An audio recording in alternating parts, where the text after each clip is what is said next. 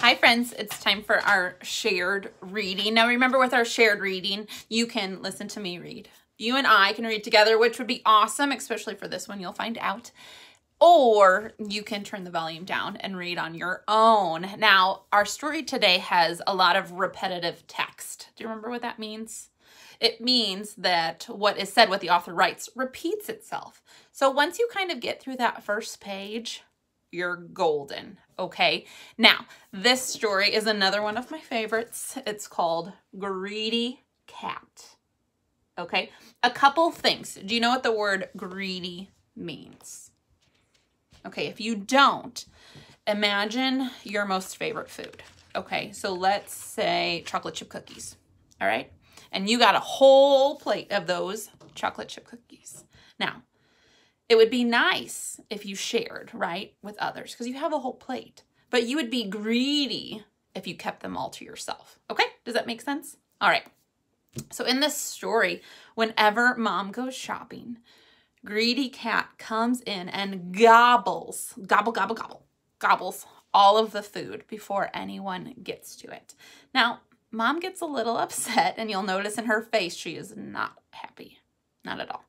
So Read to see how mom shows Greedy Cat a lesson. Greedy Cat.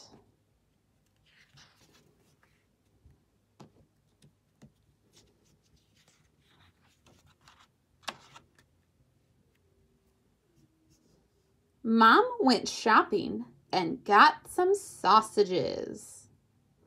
Along came Greedy Cat. He looked in the shopping bag. Gobble, gobble, gobble. And that was the end of that. Okay, that's the repeated part. You'll see. Along came Greedy Cat.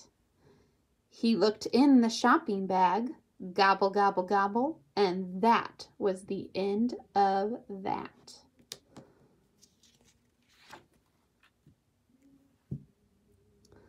Mom went shopping and got some sticky buns. Along came Greedy Cat. He looked in the shopping bag. Gobble, gobble, gobble. And that was the end of that. Mom went shopping and got some potato chips. Along came Greedy Cat. He looked in the shopping bag. Gobble, gobble, gobble. And that was the end of that.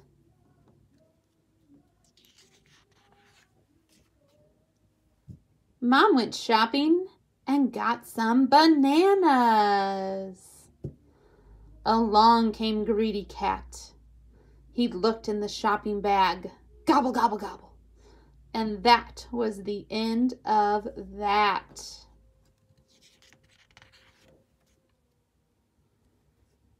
Mom went shopping and got some chocolate.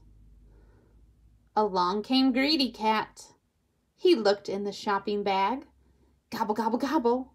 And that was the end of that.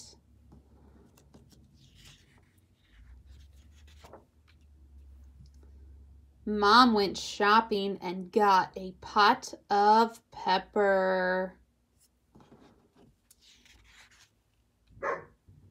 Along came Greedy Cat.